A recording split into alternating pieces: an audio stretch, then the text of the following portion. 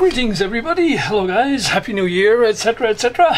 Um, first project of the new year for me. Um, now that uh, my guests are no longer here and uh, the house is all back to normal and the tree is taken down and packed away for another year, etc. So this is a um, an upgrade to my main hi-fi system, and I'm kind of breaking the rules, I guess, in the sense that my hi-fi at the moment is made up of everything that is offline. So I have vinyl, uh, audio cassette, CD, mini disc, all hooked up through the uh, uh, through the selector box, and it all works really well. And I'm happy with that because at one time I have a lot of cassettes and CDs, and I was going to rip everything and put everything online. And then I thought, no, that's going to take forever and a day. So I'm just going to, if I want to listen to an audio cassette, I'll just listen to it on the cassette. But the opposite is also true. I have lots and lots of uh, basically stuff I got on iTunes and other online sources in digital format. Um, and I have taken some of that material and put it on, burned it on the CDs and stuff uh, to put into hi-fi. But I thought, yeah, I'm not going to do that for everything.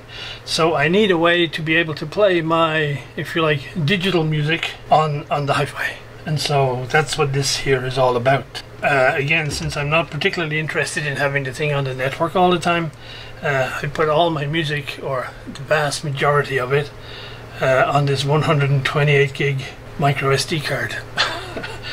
and I guess I'm showing my age by by appreciating the degree to which the technology has has moved along. That on this little tiny thing here, there is 128 gig of storage uh, with most of my music collection on it. Um, so that's going to be plugged into the USB here. So what this is, the way this works, is you have a, a Raspberry Pi.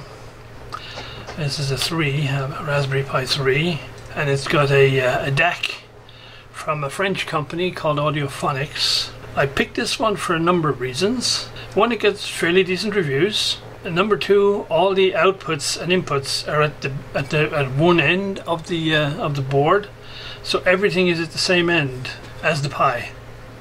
And so Audiophonics then make an enclosure that you can put the whole thing in, and it all looks lovely on your hi-fi.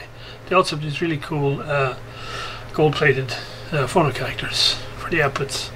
The one slightly kludgy a little bit is, of course, on a Raspberry Pi, the um, the OS is on an SD card, which is on the other side of the board. And so, what Audiophonics have done is they've come up with a uh, an extender cable, which will allow the uh, SD card to route to be at the front as well. Now, the only problem that it looks like they encountered is there wasn't enough room for a standard extension cable to fit. So, if you like the one slightly kludgy little bit of this project, is you have to take the SD card reader uh, slot thingy out of its case, and basically you have to glue it to the bottom of the box because there's just barely enough room. And so I've just stuck it down with a little bit of a medium strength um, uh, super glue. So the rest is simply a case of hopefully uh, putting the whole thing together and hooking it up. And also rather than be using these noisy uh, wall warts Audiophonics also produce a nice linear power supply um, which is a similar form factor to the uh, to the box here. So the two side by side are going to look nice and neat uh, hooked up to the hi-fi rather than have cables all popping out all over the place and looking a mess. I just need to uh, put this together and uh, we'll try it out before I put the final lid on first and if that all works on the bench then we'll uh, finish it off and uh, try it out on the actual hi-fi.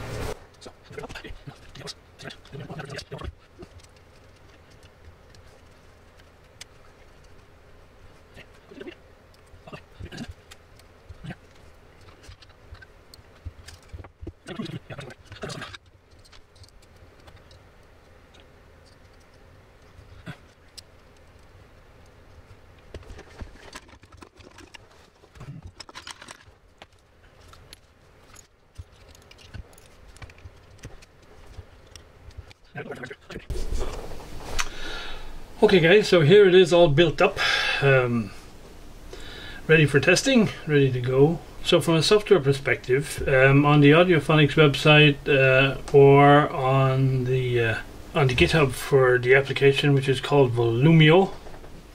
You can download an image uh, which you then flash onto a, a micro SD card and you uh, stick that into the Raspberry Pi and uh, boot it up and we're all going. And I guess when you first boot it up it's like what they call a headless app. There's no, it doesn't talk directly to a screen. So the only way you access it is through a, through a browser. And so when this boots up, it connects to the Wi-Fi. If, uh, like there's explanations online on how all that gets done.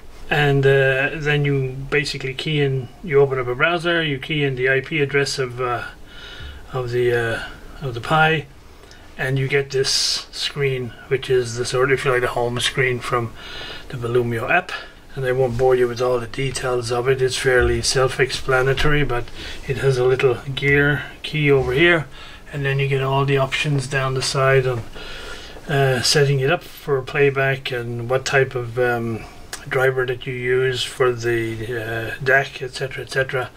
All those good things. Um, that's pretty self-explanatory once you're in it. Now, what I've done here is I put, as I said before, I put all my music on a on a, a USB stick just to keep it easier. And if I browse my music if I go back up to the top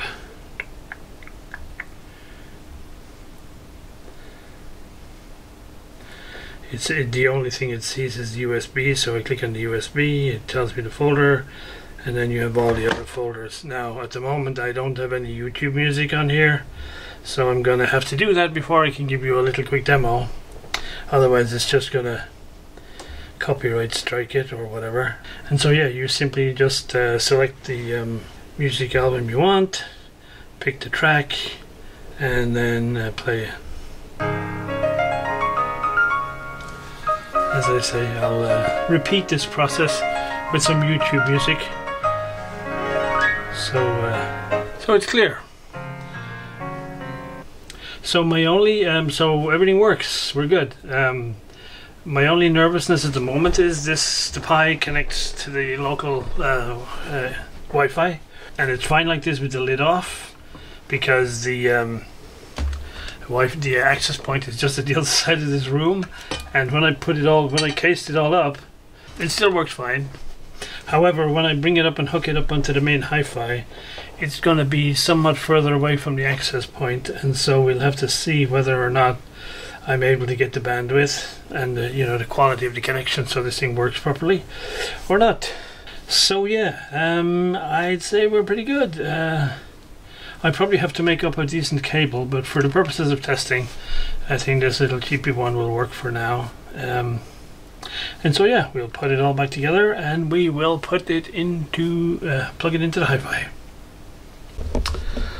Well, guys, I'm afraid my worst fears with regard to Wi Fi reception have uh, come to pass. This is the setup just in front of my normal video editing machine upstairs.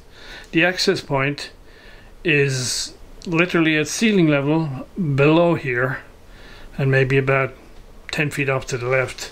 So one would think that uh, you would have excellent Wi-Fi signal here, but with the with the gadget right here, That's the minimum consistent signal level.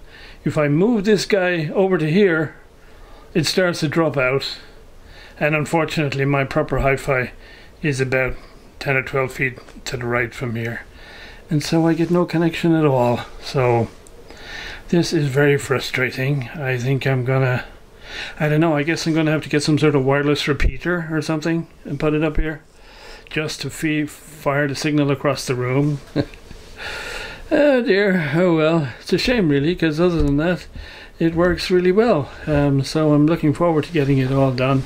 But I may as well end the video here because I'll have to go and get something to extend the Wi-Fi coverage in this place uh, in order for this thing to work properly. I did try and hook it up with an actual Ethernet cable. Didn't seem to do anything, so it doesn't look like whatever the software is here. It even tries to activate the uh, Ethernet connection. Anyway. There we go, so we'll have a little bit of YouTube music in the interim.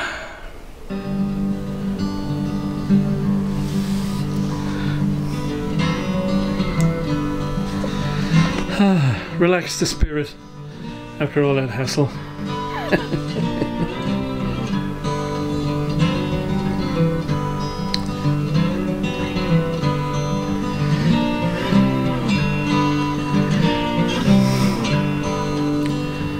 So more to come, guys, when I get that uh, sorted out.